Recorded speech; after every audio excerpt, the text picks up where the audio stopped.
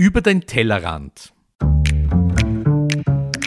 Der Name ist Programm. Wir beleuchten Themen aus den Bereichen Lebensmittelerzeugung, Lebensmittelverarbeitung und Lebensmittelkonsum, die uns alle bewegen. Wir fragen Experten und wir bieten Perspektiven an. Wir liefern Fakten, die helfen, eine Meinung zu haben oder zu bilden. Wir geben keine Meinung vor und bewerten nicht. Wir, das sind Ursula Riegler und Christoph Zezele. Und heute sind wir zu Gast bei der Firma Hüttaler in Schwanenstadt in Oberösterreich, gemeinsam mit dem Herrn Florian Hüttaler. Fleischer, Schlachter, aber das wird er uns noch genau erklären, in vierter Generation. Hallo, grüß Gott. Grüß Gott. Morgen. Morgen. Wo sind wir hier jetzt? In welchem Bereich befinden wir uns in diesem gigantischen Gebäude? Ja, wir sind in unserer ausgelagerten Schlachtung nach Tierwohlgrundsätzen. Wir haben da 2019 das Bauwerk eröffnet, äh, sind da absichtlich vom Urstandort in Schwanenstadt in die Nachbargemeinde Redelham äh, gewandert, damit wir wieder mehr Platz auch haben, um unsere Ideen da umzusetzen.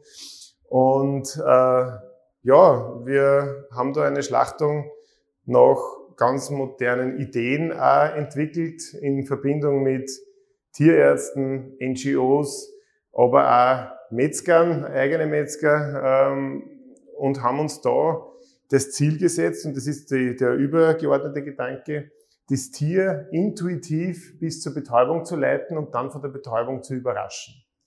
Es schaut irgendwie anders aus, als ich mir das vorgestellt habe. Ich habe mir da Stahlgatter vorgestellt, die sind gerade Schweine reingekommen, äh, die stehen aber oder schlafen teilweise auch in Holzboxen. Man muss vielleicht dazu sagen, wir stehen auf einer Besucherplattform oberhalb der Anlieferung und wir schauen da gerade auf eine Menge an Schweindeln. Es werden immer mehr, also es ist gerade Anlieferung.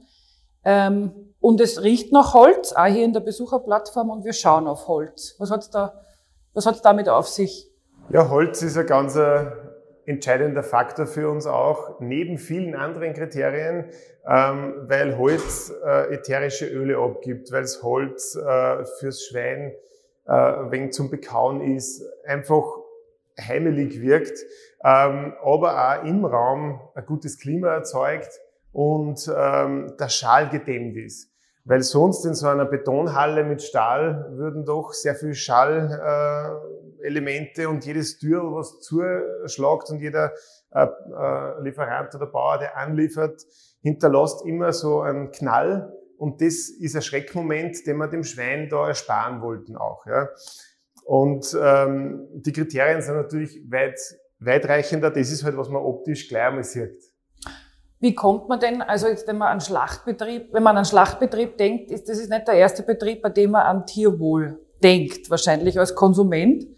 Ähm, und wir versuchen mit der Staffel ja diese, diesen sehr dehnbaren Begriff Tierwohl ein bisschen zu konkretisieren. Und bei der Recherche sind wir eben auf Sie gestoßen, weil man über Sie online findet, dass Sie Tierwohlstandards definiert haben. Wie kommt man als Schlachtbetrieb, der über Generationen schon schlachtet, wie kommt man drauf, dass einem das auf einmal wichtig ist? Oder man was ändern möchte? Ja, also grundsätzlich sind wir kein Schlachtbetrieb. Das ist ja zwar ein Teil unseres gesamten Pakets, mhm. aber eigentlich sind wir Fleisch- und Wurstproduzent. Mhm.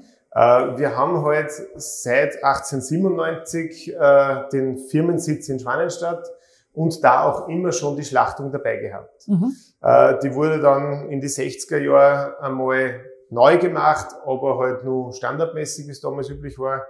Und 2014 hat mein Bruder sich entschieden, die Firma zu verlassen und dass ich alleine die Firma mache und mhm. er einen Bauernhof in der Nachbargemeinde Rüstorf, den Musterhof heißt er jetzt, ähm, äh, betreut und wir gemeinsam ein Brüderprojekt machen wollen, wo wir trotzdem zusammenarbeiten, aber wo wir getrennte Firmen haben. Mhm. Ähm, und da haben wir uns sehr schnell äh, mit dem Gedanken gespielt, eine Tierwohl-Ebene einzubauen, weil konventionelle Tierhaltung europaweit einfach am gesetzlichen Mindestmaß ansetzt. Äh, und Biohaltung zwar gesetzlich geregelt ist, aber durch das Markenprozedere, was im Biobereich sehr, sehr groß ist, weil jede Handelskette seine eigene Biomarke hat, oft nur Zusatzkriterien draufgeschlagen werden. So geht die Schere praktisch von Jahr zu Jahr weiter auseinander. Und für uns war es klar, dass da dazwischen, gerade im Schweinebereich, äh, Tierwohl Platz hat.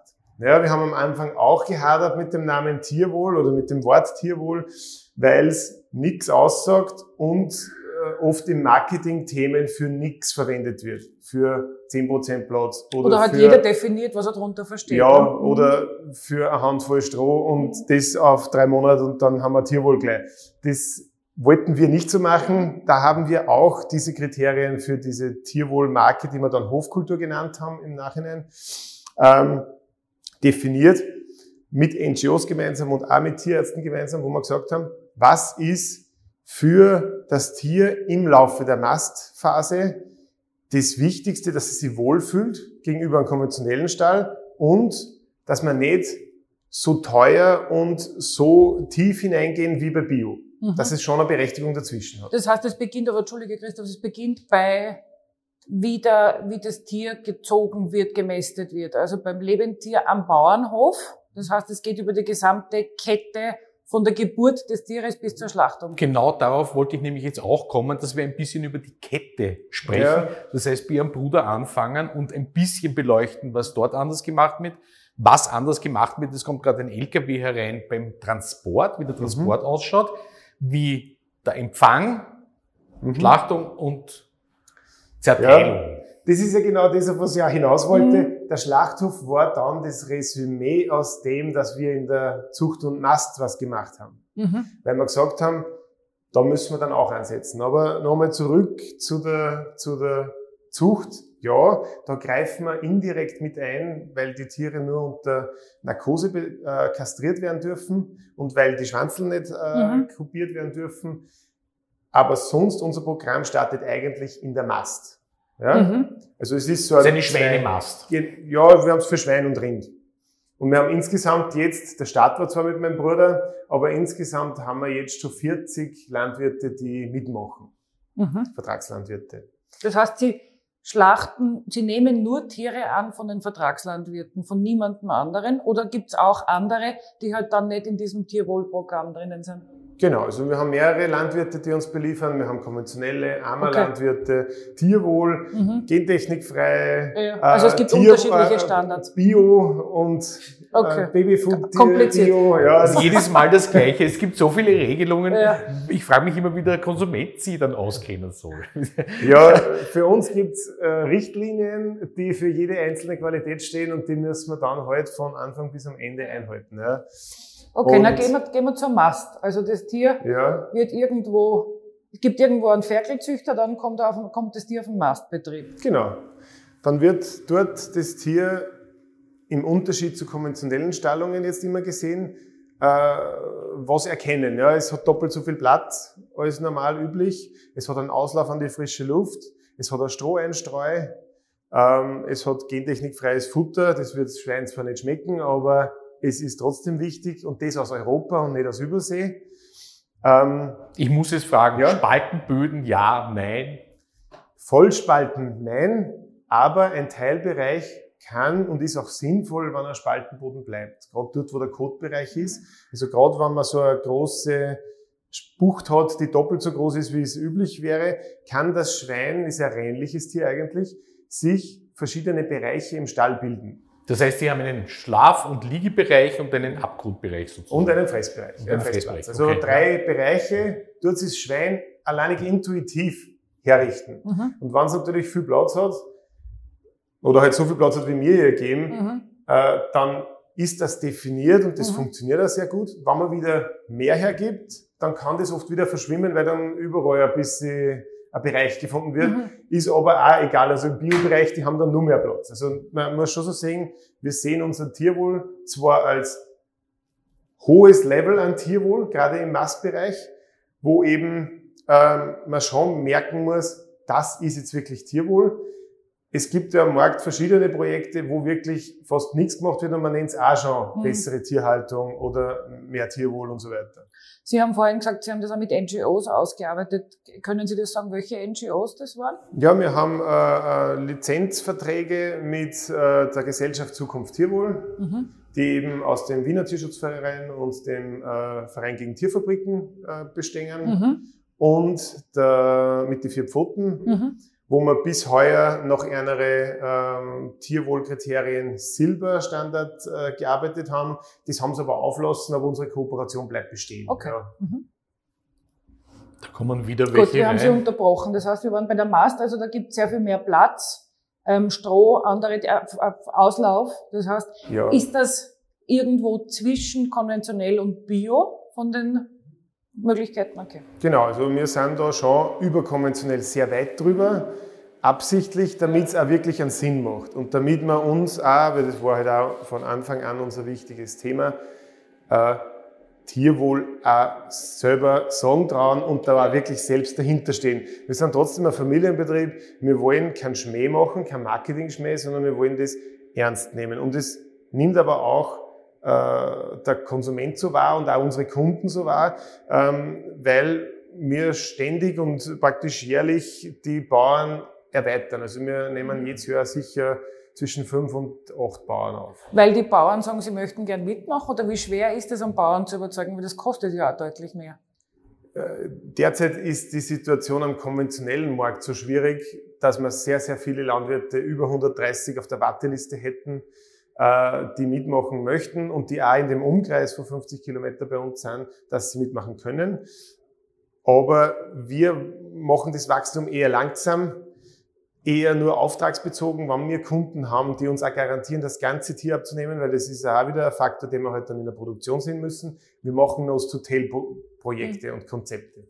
Wir wollen nicht nur die Steaks und die Filet verkaufen. Mhm. Das funktioniert nicht. Mhm. Über wie viele Schweine bzw. Rinder reden wir da pro Jahr? Es werden laufend welche angeliefert, heute offensichtlich. Mhm.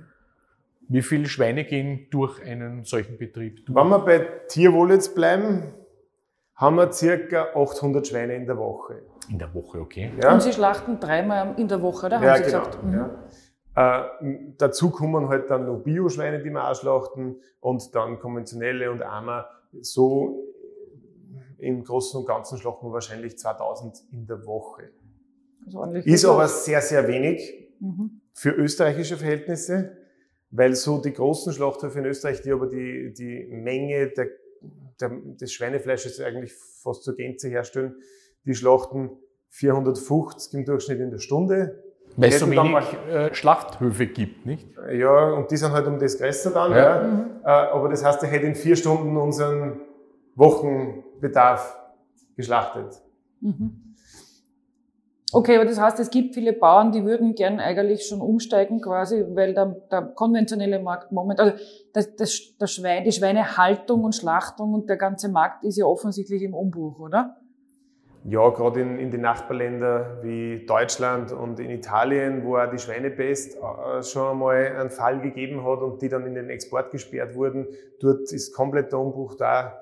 Äh, Aber ist es auch, weil der Konsument sich was anderes wünscht oder die Konsumenten sich was anderes wünschen oder ist es nur von innen herausgetrieben, weil, weiß ich nicht, Preise sich, Weltmarktpreise sich entwickeln oder halt eben große Krankheiten drohen? Oder wie ist Ihre Einschätzung? Weil Sie machen ja Tierwohl auch nicht nur weil ihnen vorher Fahrt war, sondern weil sie überzeugt sind davon. Aber es muss ja eine Nachfrage geben, oder? Genau, wir vertreiben es ja nur am österreichischen Markt, wo das jetzt nicht der Fall ist.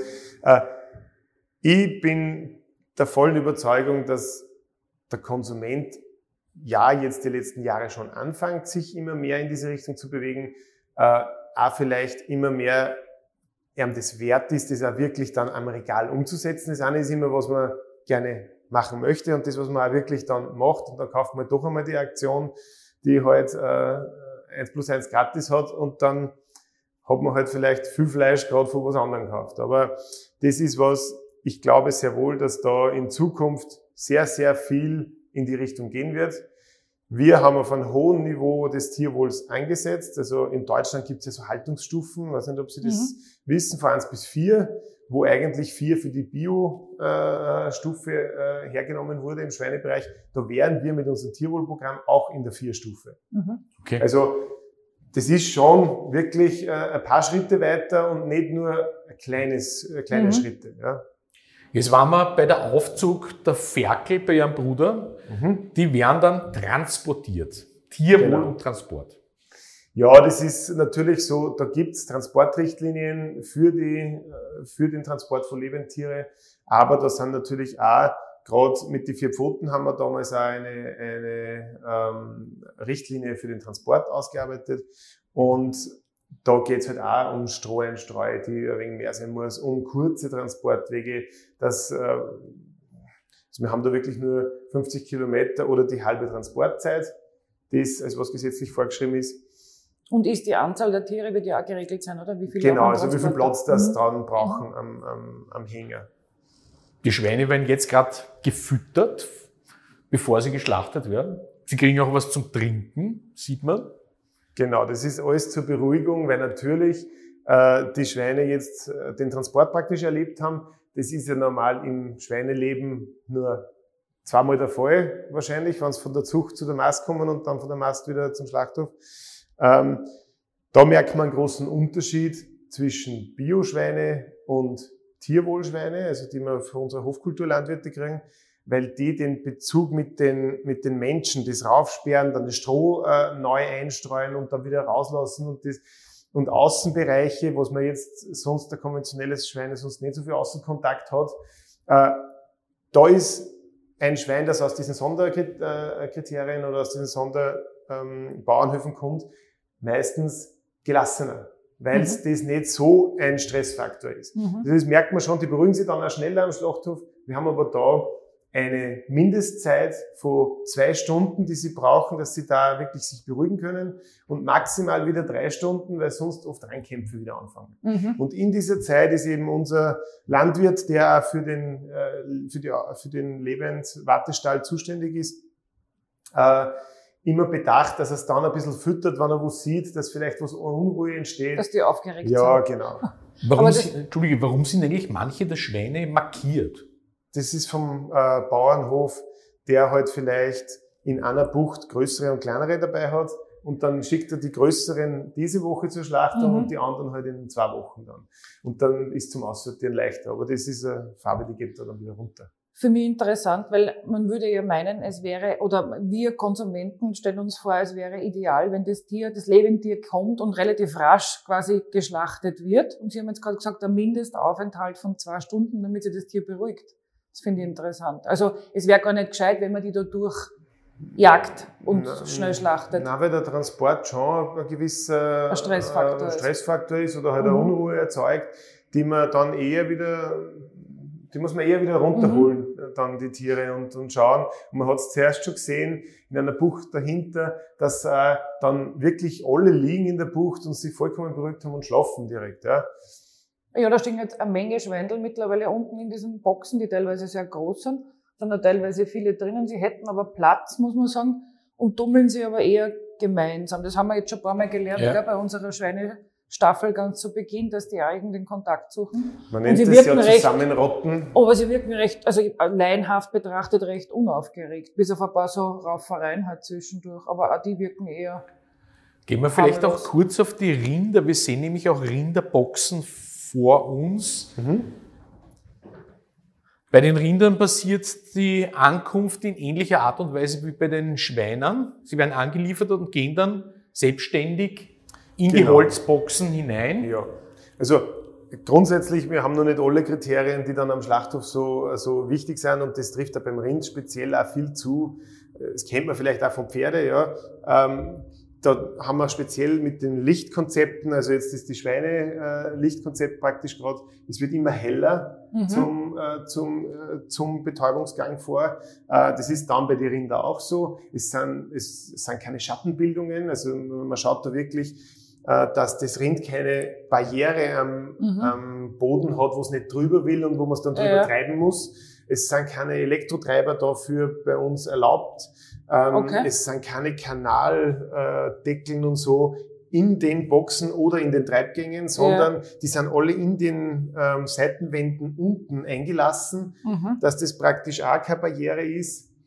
Wie weiß man, also wie kommt man auf so ein Konzept? Wer unterstützt, wo, woher kriegt man da Input? Ja, wir haben lange geplant und haben doch, also eben mit der BOKU zusammengearbeitet, mit Veterinäre, äh, haben sie sehr viel äh, von der Temple Grandin ihre Bücher ja. äh, äh, angeschaut, wo, auf was die Wert legen da in dem Zusammenhang.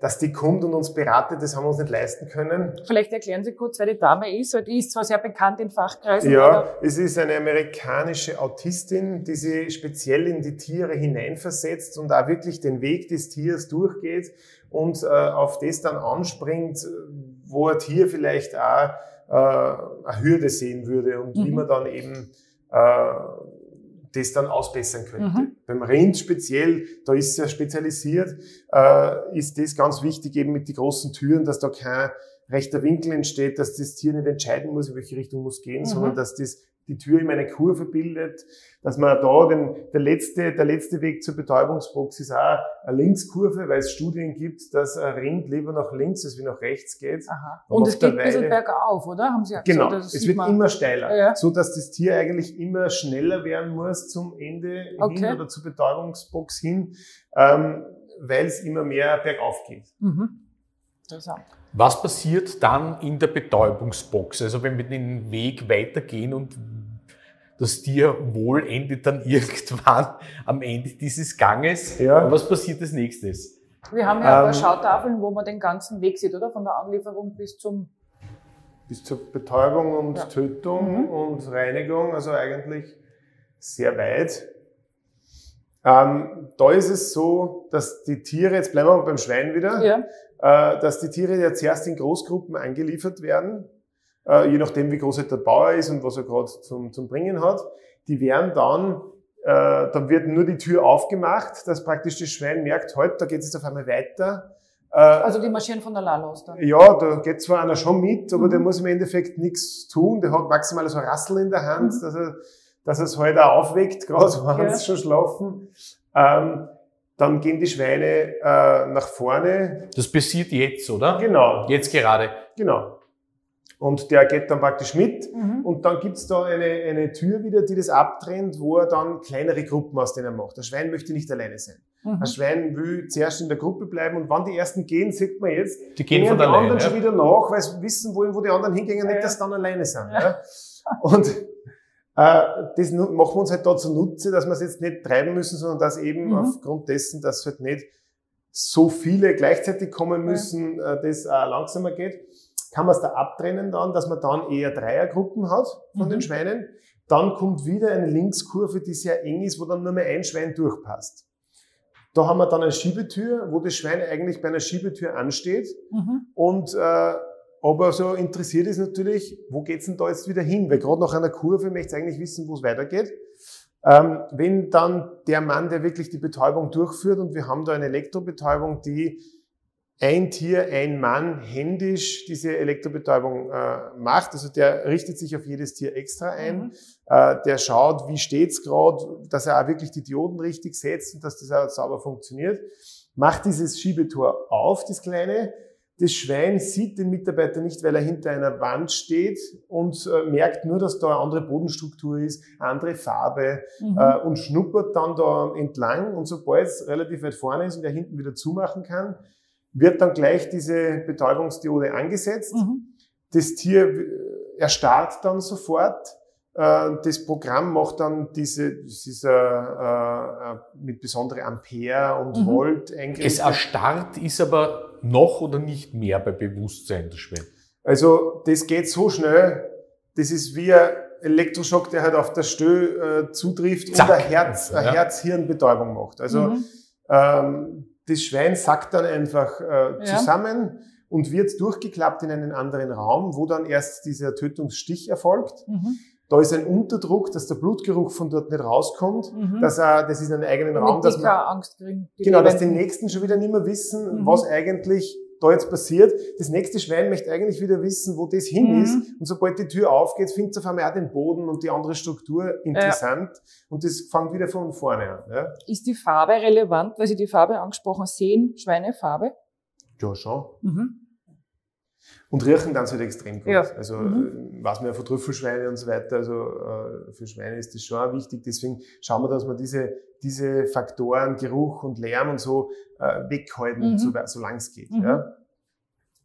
ja, und dann kommt eben ein Betäubungs-, also ein Tötungsstich, wo die Hauptschlagader äh, im Hals gestochen wird. Dann entblutet es bei uns liegend. Dass das eben, das ist für die Fleischqualität besonders gut. Äh, und da wird auch kontrolliert von dem Mitarbeiter, der dort ist, ob die, natürlich bevor es gestochen wird, äh, ob die Betäubung gut funktioniert hat. Da haben wir sehr wenige Fehlbetäubungen. Äh, der könnte aber da drinnen nur mehr nachbetäuben, wenn es ist, damit das ja äh, auch gut funktioniert. Und ab da geht's dann, wird's dann praktisch aufgehängt auf den Beinen und durchlauft den einen Reinigungsprozess. Mhm. Eine sehr aufwendige Angelegenheit. Ich habe gerade überlegt, das ist ja aufwendig im Vergleich zu klassischen oder konventionellen Schlachtungen. Kann man das dann am messen? Also wir, wir nähern uns ja sozusagen unserem Ziel, dass wir Tierwohl präzisieren, oder? Weil hier hat man recht eine klare Vorstellung, welche Kriterien erfüllt werden müssen, damit Tierwohl draufstehen darf. Wie zahlt sich's aus, beziehungsweise wie misst man das auch in der Fleischqualität? Kann man es messen? Das ist ganz schwierig. Mhm. Äh, Wir sind davon überzeugt, dass die Qualität, seit wir das so machen, besser geworden ist. Wir Mhm. beliefern uns ja selbst mit, Mhm. den, mit der Ware, die wir hier schlachten und, und zerlegen. Ähm, Und wir sind sehr zufrieden mit der Qualität. Also man kann schon gewisse Faktoren messen am Schlachtband, wie ein pH-Wert und so Mhm. Sachen, aber die sind bei einer konventionellen Schlachtung auch sicher so ausgerichtet, dass sowas gut ist. Mhm. Also bei uns ist, ist so, ich glaube, ich schmeck's, Ja. den Unterschied, Ja, ob das Profi, Tier ne? von Anfang Mhm. an Tierwohl oder einen Bioweg begangen hat Ja. und dann auch über die Schlachtung kommt. Mhm. Äh, Das ist ganz wichtig, weil auch wenn man die Schlachtung dann auf Biegen und Brechen und, und, und mit alle Konsequenzen durchzieht, da hat man sehr viel Qualität zusammen, die Ja. der Bauer monatelang am, am Hof sich kümmert hat um seine Tiere und denen sind schon die Tiere auch wichtig.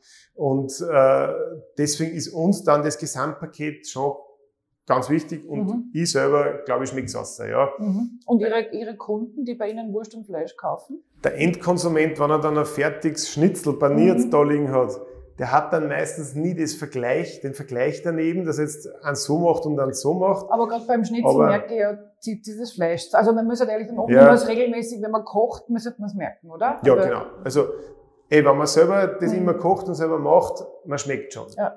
Außerdem werden sie ja die enormen Investitionen, und das schaut teuer aus eher, äh, nicht einfach so machen, um gut dazustehen, sondern es muss ja auch sich Wirtschaftlich umsetzen sein, ne? ins Mhm. Produkt. Mhm. Ja. Ja, genau. Also wir, unser Anteil an Tierwohlschweinen und an Bioschweinen steigt jährlich, den wir, den wir machen.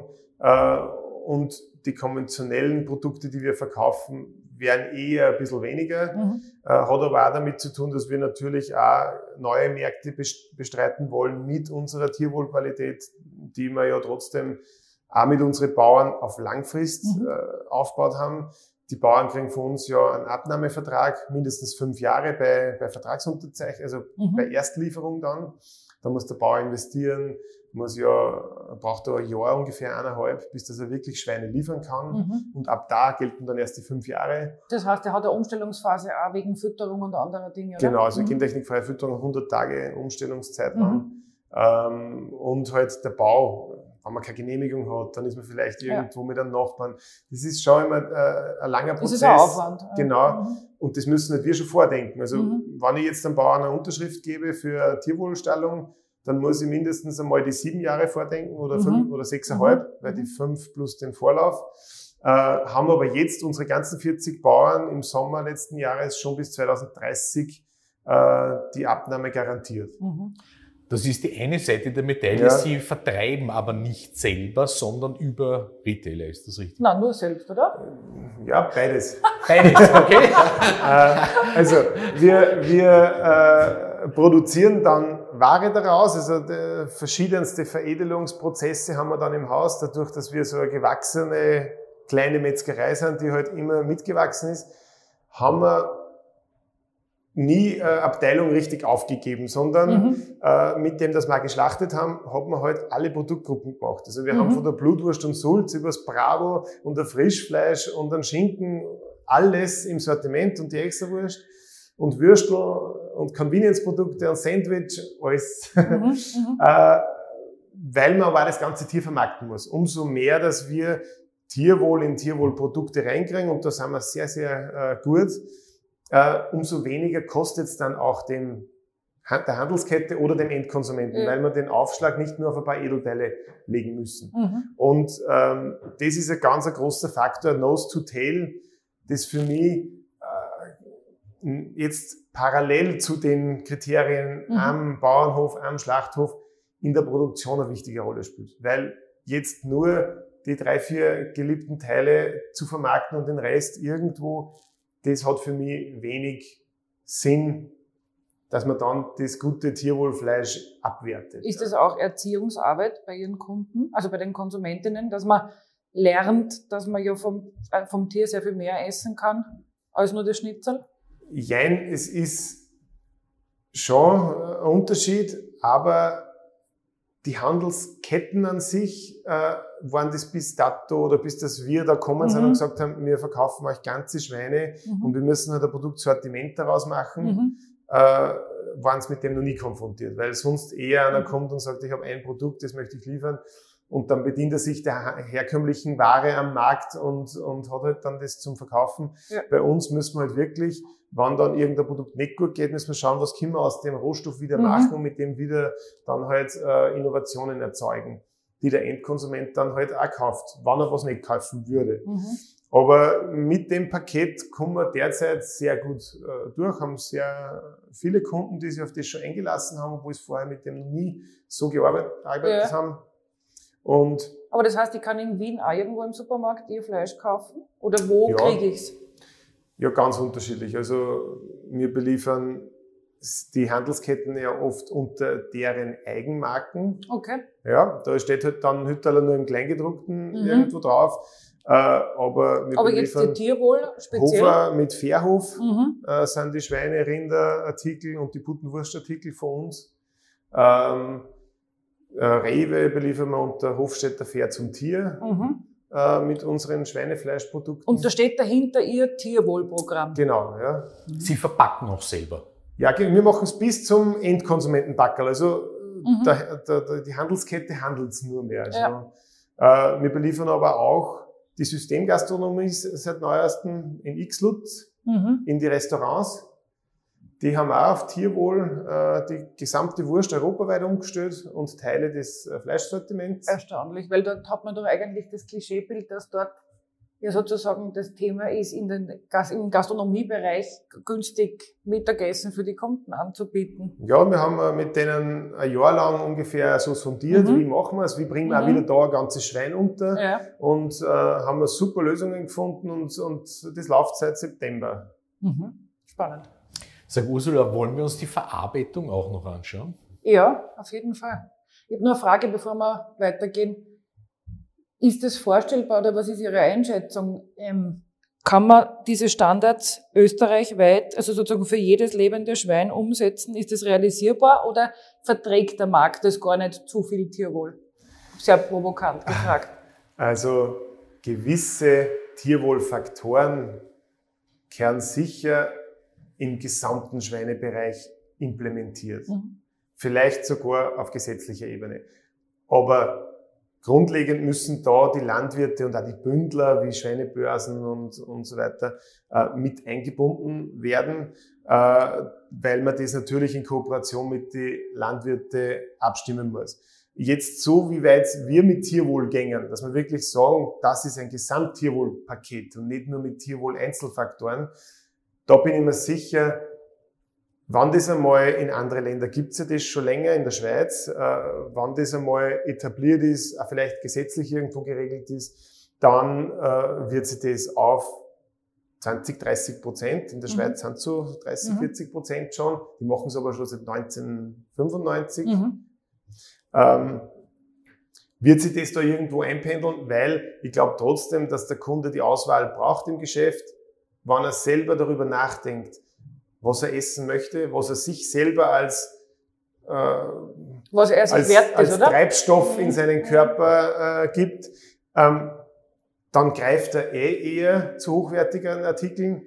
Ähm, da ist sicher so mit Auslauf und allem, was wir äh, machen, wo die Bauern wirklich auch äh, gravierend umbauen müssen in einen, in einen Stall, das geht sicher bei vielen Landwirten nicht, weil da oft die äh, Randgemeinden, äh, Wohnungen Mhm, äh, mhm.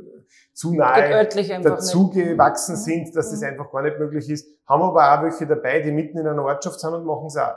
Also Mhm. wir Mhm. haben schon solche auch dabei, die halt gesagt haben, sie möchten es probieren, sie haben es durchgebracht und sie haben Ja. Nachbargemeinde wieder äh, mitten im Ort da einen Tierwohlstall. Okay. Und noch eine Verständnisfrage jetzt an dem Standort da. Warum Tierwohl und ein eigene, sozusagen ein eigener Level? Haben Sie jemals überlegt, gleich komplett auf Bio umzustellen? Na, wir produzieren selber schon seit Ewigkeiten Bio. Mhm. Also wir haben da einen Babynahrungsproduzent, ein großer Hersteller, den beliefern wir schon seit 57 Jahren. Uh. Und äh, die haben uns damals schon gesagt, wir sollen Bio produzieren, da hat es noch gar keine Bio-Gesetzgebung gegeben. Ähm, und wir sind auch einer der größten Bioproduzenten in Österreich, Mhm. zusätzlich. Mhm. Äh, und ich wollte absichtlich nicht so nahe an Bio herangehen, Ja. wie es vielleicht sie NGOs wünschen würden oder, oder wie man es sich vielleicht selber auch nur zusätzlich wünschen würde, weil das schon ein großer Schritt für die Landwirte ist Mhm.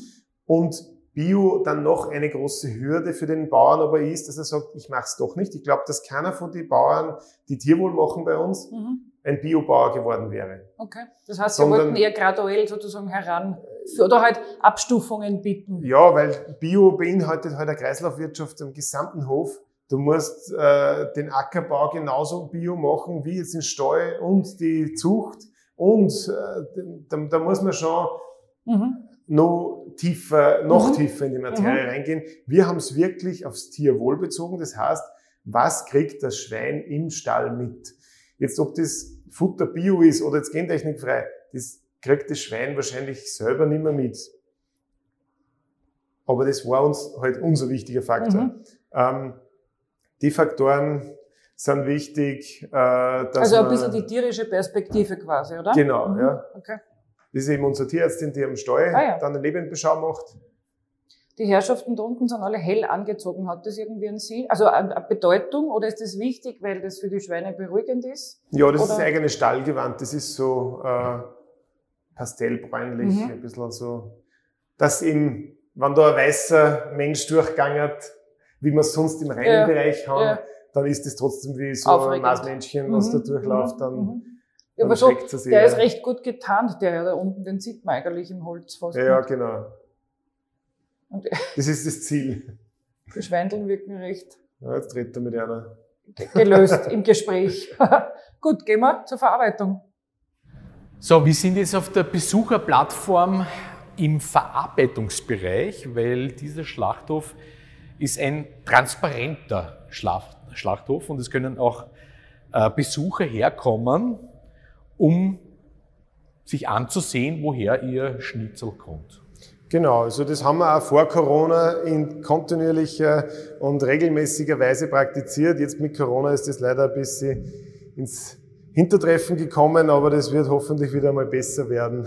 Das heißt, sie wollen nichts irgendwie können. verstecken, sondern den Leuten auch zeigen, woher das Fleisch kommt. Ja, und Genau. vor allem, was braucht's, oder? Was braucht's, damit man überhaupt das Fleisch essen kann? Ich finde, das ist ja recht oft auch ein bisschen im Verborgenen, wenn ich nur Fleisch im Supermarkt kaufe, Das ist dass ein das einmal ein, ein lebendes Tier Ja. war und geschlachtet werden muss, zerlegt werden muss, wie was man gerade hier sieht. Und es da Menschen gibt, die jeden Tag zig Schweine zerlegen. Ja, das ist auch unser Ansatz bei dem Ganzen. Wir wollen da Meinung bilden, wir wollen da äh, Aufklärung betreiben, äh, damit auch wirklich ähm, den Menschen, die dann eben mit dem Einkauf im Geschäft uns den Auftrag geben, welche Qualität sollte forciert werden und Ja. welche nicht. Ja, das ist trotzdem so. Ähm, dass dann irgendwo vielleicht einmal hinterfragt wird, warum das nur die Aktion jetzt nur 2,50 kostet, äh, kann das überhaupt sein? Kaufe ich mir das überhaupt? Was ist das dann noch? Ähm, und auf der anderen Seite, dass man vielleicht absichtlich äh, zu ein bisschen teureren Produkten greift, die aber gleich eine riesen Auswirkung haben. Also von dem, was wir jetzt geredet haben mit Tierwohl, äh, da reden wir am Endprodukt von zwei Euro aufs Kilo. Mhm. Man isst aber nur 120 ja. Gramm. Ja. Also wir reden da im Centbereich pro Portion für einen Endkonsumenten. Mhm. Und das äh, eigentlich marginal, ne? ist, mhm. ist normal jetzt so zwischen 30, 35 Prozent, was dem Endkonsumenten jetzt Tierwohl bei uns mehr kostet. Ja? Und jetzt muss man sagen, Tierwohl ist natürlich hier nicht mehr zu sehen, weil hier sehen wir das tote Tier, das aufgeschnitten und zerlegt wird. Da kommen die Innereien raus zum Beispiel. Und aber ist, man sieht sehr viel manuelle Arbeit und es wirkt alles sehr ruhig. Also im Vergleich zu anderen Schlachthöfen, die ich kenne, wirkt es langsamer, kann mich aber auch täuschen. Und es wirkt alles sehr ruhig und ich, ich kann es schwer beschreiben. Ist, Ihnen, also ist es auch hier anders, Ihr Ablauf im Vergleich zu anderen Schlachthöfen, beziehungsweise die manuelle Arbeit muss ja auch Geld kosten, oder? Ja, genau. Also was man jetzt da optisch sieht, dass wir es trotzdem nochmal in der Reihenfolge mhm. schauen. Vorne ist so ein Durchbruch praktisch, wo äh, das Schwein durch so ein kleines Tor durchkommt. Mhm. Also das ganze Schwein noch. Das ist der Übergang, wo das ähm, Lebewesen zum Lebensmittel wird. Mhm. Also ab da fangen wir dann an, das äh, zu bearbeiten. Da ist schon gereinigt. Äh, da werden jetzt dann die weißen Organe entnommen, die roten Organe entnommen. Die roten sind lebensmitteltauglich im Gegensatz mhm. zu den weißen. Dann wird es halbiert und dann kommt der Schlachtkörperbeschau, findet dann statt. Also da haben wir Tierärzte, die ähm, den Schlachtkörper beschauen, aber auch die Innereien anschauen, haben dann ein Portal, wo sie die Ergebnisse ihrer Beschau direkt gleich reinschreiben können. Mhm. Das ist hier die Tierärztin, oder? Genau. Ja, da sieht man gerade, wie Die schaut gerade die Innereien an. Herz ja. und Lunge und so weiter. Genau, die, die, schneidet dann einmal rein in die Lunge, schaut, ob Milky Spots zum Beispiel da sind, das ist was auf Parasiten schließen würde. Mhm. Äh, die schaut sich aber auch das Herz an, die schaut sich die ganzen, mhm. die, äh, die Lunge an und eben auch den Schlachtkörper, ob der sauber ist, ob er irgendwelche Verletzungen hat und so weiter äh, und gibt es dann zum Lebensmittelgebrauch frei. Mhm. Wenn was nicht entsprechen würde, hat die einen Knopf und kann das ausschließen und wird dann zur TKV gefahren. Oder? Es wird jedes Tier untersucht von Ja. TKV vielleicht zur Erklärung ist Tierkörperverwertung. Ja, genau. Mhm. Äh, und das ist einmal, dass es Lebensmittel tauglich ist. Und der zweite, also wenn es dann da weitergeht und dann äh, wird da nur das Rückenmark abgesaugt und so weiter und der, und der Schneideabrieb, dann kommt es nur zu einer Position, das ist der Klassifizierer. Diese zwei Bereiche, eben der tierärztliche Beschau und der Klassifizierungsdienst, den sieht man da hinten, ja. wo da das Licht ein bisschen leuchtet, ja. ähm, die sind keine Mitarbeiter von uns. Das muss das, aber wahrscheinlich Ja, das muss so sein, weil erstens einmal äh, der, der Tierarzt, der von der BH gestellt wird, muss der muss ja äh, das Lebensmittel tauglich mhm. feststellen, mhm. Äh, ohne dass wir sagen, ja, das ist passt eh alles. Ja. Und äh, ähnlich ist beim Klassifizierungsdienst, der bewertet dann das Tier, ist es mager, fett, ist es tierwohltauglich, weil es von den Bauern kommt, mhm. ist biotauglich, ist äh, also enorme Verantwortung. Der macht alles oder? und der bestimmt den Preis dann für den Landwirten, weil mit mhm. jedem Ja und Nein bestimmt er halt einen Zuschlag oder nicht für mhm. den Bauern. Okay. Und umso schöner das Tier dort einkommt auch, umso äh, mehr kriegt der Bauer. Also das heißt aber, das weiß man immer erst im Nachhinein, weiß man nie im Vorhinein, genau. was der für sein, für sein ganzes Tier kriegt. Da könnten, wenn einer auch ein armer Bauer ist, äh, ein gewisser Prozentsatz an Schweine von der Armer ausfallen, die Hälfte zum Beispiel. Mhm. Dann kriegt er den Armer-Zuschlag für die Hälfte nicht. Mhm. Als Beispiel jetzt. Ursula, was sagst du? Ja, spannend, viel Aufwand, aber interessant, unterschiedliche Schlachthöfe kennend, wie, man sieht denn, also als Laie sieht man hier den Unterschied.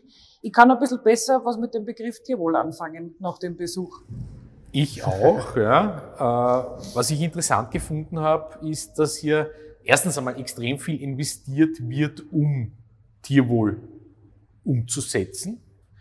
Äh, interessant finde ich auch, dass das Ganze eine Art Step-by-Step-Politik ist. Also es ist nicht so, wir haben einen konventionellen Betrieb, jetzt machen wir voll Bio, sondern es ist eher, wir machen in Maßen und langsamen oder mittelschnellen Schritten sozusagen Fortschritte. Das ist mein Eindruck. Das ist ganz wichtig, weil jetzt nur schnell viel äh, Tierwohlfleisch am Markt bringen, würde für den Landwirt wieder keine Preisstabilität bedeuten. Mhm. Weil wenn zu viel da ist, dann wird auf einmal nichts mehr zahlt dafür. Mhm. Und deswegen machen wir das ganz langsam und individuell, dass wir wirklich sagen, das, was gebraucht wird, schauen wir, dass wir äh, bringen können, dass wir liefern können, aber nicht zu viel, weil sonst ja eher der Preisverfall wieder ist. Wir garantieren unsere Bauern ja noch nach unten einen, Mindest, einen Mindestbörsenpreis, den wir immer zahlen und dann dazu noch die Zuschläge.